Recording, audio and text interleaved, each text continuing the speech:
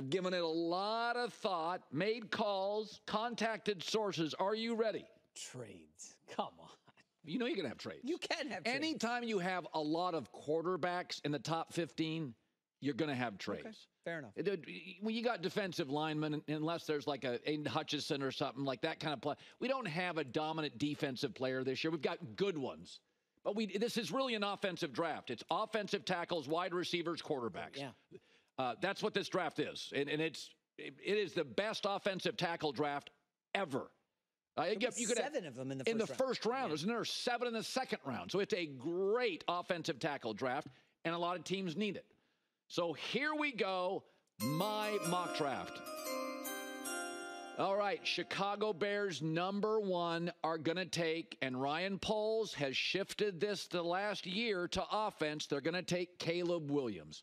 They bring in Keenan Allen, D'Andre Swift, Gerald Everett, last year DJ Moore. Poles, a former offensive lineman, started building up this offensive line three years ago with draft capital. This team will be offensively productive with a playmaker, the only college player the last two years that had 10 rushing touchdowns each year at least, and at least 30 passing touchdowns with a bad O line at Southern Cal. He goes number one. Number two, the Commanders take big, strong, and sturdy Drake Maye. Bad offensive line. Sam Howell got sacked more than any quarterback. You're not going to go for a spindly quarterback in cold weather. They need a Justin Herbert clone. 6'4 to 6'4 and a half, 225 pounds, big arm can move. This is not a great O line. He's going to get bumped around. The last thing you need is a 200, 205 pound quarterback. Drake Maye go second. I don't know if it'll work, but the New England Patriots need playmakers. They don't have them on the outside, and Jayden Daniels is a playmaker. He's got some Lamar Jackson. He'll run around, he'll throw it around. Listen, they're they're sub 500 by nine games since Brady left, and he actually fits. I just don't know if Jerod Mayo offensively can get him where he needs to be, but they just don't have enough speed and playmakers. So you might as well go put it at quarterback and see what transpires. By the way, Lamar Jackson didn't have a great receiving corps until this year, and they won a lot of games. Patriots get Jayden Daniels. This feels like an easy one. Marvin Harrison, an all time college receiver, goes to Arizona. They lost Hollywood Brown. Kyler Murray's got a star running back, a tight end he likes. He needs a number one receiver. Harrison's personality is a bit quiet and reticent. That's fine. Kyler will make up with it. He's in the headlines. They need a great playmaker, and I think this guy's in the Randy Moss, Calvin Johnson prototype of a star day one in the NFL. The Chargers trade down with Minnesota and get both of their first round picks. This is what Jim Harbaugh, I'm told, wants. And the Vikings select J.J. McCarthy, who will sit a year behind Kevin O'Connell, great left tackle, run back, two receivers. This is an offensive division. Darnold's not the long term future, but like an Alex Smith with Mahomes, he'll be a great mentor for a year. I think J.J. McCarthy is a B plus prospect, but in Minnesota with this coach and these pieces, I think he can have real success.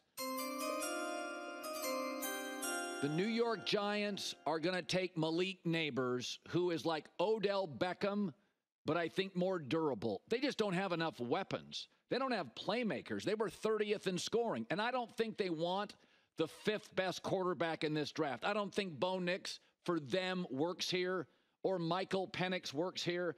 Darren Waller, the tight end, is considering retirement. Saquon Barkley is gone. They got to give Daniel Jones something to work with, and they don't want to take a huge cap hit. And this kid can fly. He, he's got some Odell Beckham, but a little bit faster and maybe more durable. This feels pretty easy. Titans take Joe Alt, Notre Dame tackle. They got a bad O line. The only way Will Levis is going to succeed, whether he does or not, is if he has some protection. Um, you know, he, he's athletic. I think he played a little tight end in high school, a dominant left tackle, and a draft filled with them. Titans take Joe Alt. This feels pretty easy, too. They got the O line, receiver, quarterback, running back, tight end fixed. I think the Falcons take Dallas Turner, best rudge edge in the draft. They haven't had like a double digit sack guy since Vic Beasley. So this team actually, and it's a defensive coach.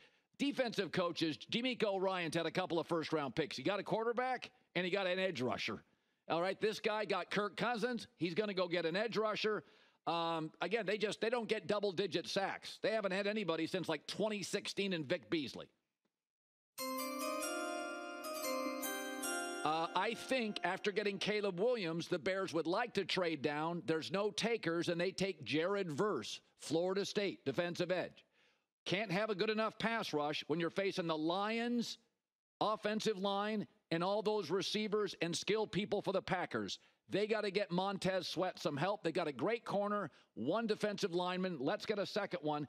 They only had 50 sacks last year under Matt Eberflus, 12 fewer than any other team. So they Montez Sweat is the beginning. I think they'll go and get another edge rusher potentially later in the draft.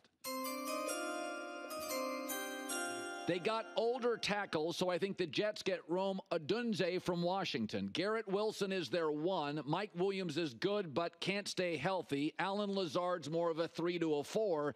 This kid will walk in very comfortably, be a two, big catching radius. Also, an adult, a very disciplined, focused, hardworking player. No distractions from a noisy franchise. I think he will really work in New York. Rome Odunze, who I watched play 10 games this year, impact very early.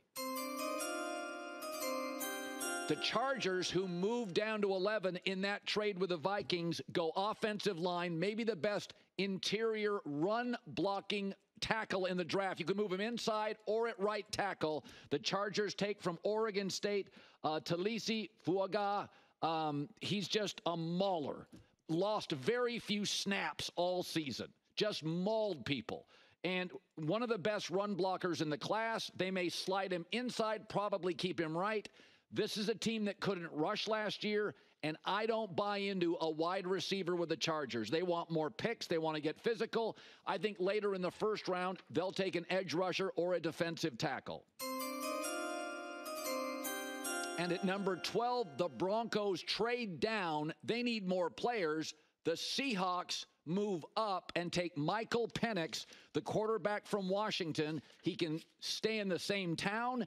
The Seahawks offensive coordinator was Michael Penix, offensive coordinator in college. Seattle doesn't owe Geno Smith any money next year. I think he throws the prettiest ball in the draft, including Caleb Williams. I think he throws a beautiful football. He gets his coordinator. You can say it's a bit of a reach, but Seattle's got their pieces. They've got corners.